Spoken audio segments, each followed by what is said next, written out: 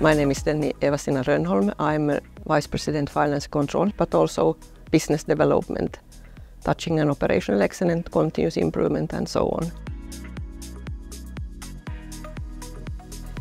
The Wärtsilä Automation Transformation Program, in fact it started some years back, around 2016. We scaled the automation to many different departments. It was everything from where we had the spare part logistics center, a lot of transactions. It was in finance control, it was the project, financial controlling, it was in the manufacturing, even in the R&D. It was in basically almost all kind of domains. It's an evolution to go over them from RPA to, into process mining and it has gone a little bit hand in hand with our strategy in Wärtsilä. Now you get out from a task-oriented RPA to a bigger process.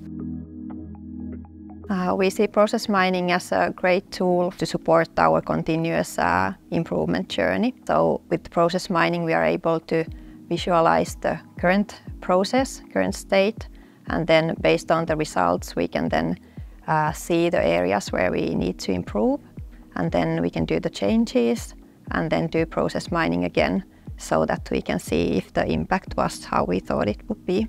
For us and for many organizations, you have quite big processes. They become uh, siloed. Uh, being able to break those walls, that's very important. If we look at the supply chains today, there's a lot to do with sustainability. And there's also, of course, geopolitical risks that you need to take into account. So it varies uh, from a wide array of, of larger global issues to then local uh, distribution uh, bottlenecks. Being, being able to reduce the lead time for our main assembly with about 30%. Also linked to that is then the elimination of issues that we are encountering during the assembly process and that we have been able to reduce the hurdles and issues by approximately 25%. And this is where technology from UiPath is one of key enablers. Process mining gives a completely a new uh, dimension and a level of detail. It's amazing. The process that was in scope was the material flow from uh, warehouse to production.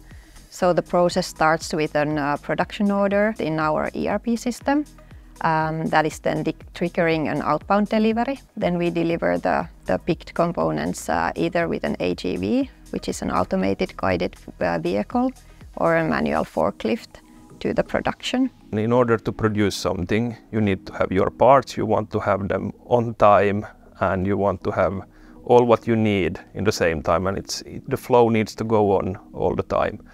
And uh, it needs to be very stable and predictable. The fascinating thing also with the process mining is that you can connect easily to other stakeholders, customers, to suppliers, to banks, to, to any, anywhere where you want to improve. And I think one of the thing here is that it, it's, the process mining is coming more also from convincing, it's from bottom up. It's a pull from the organization itself. This is a tool for us to help ourselves.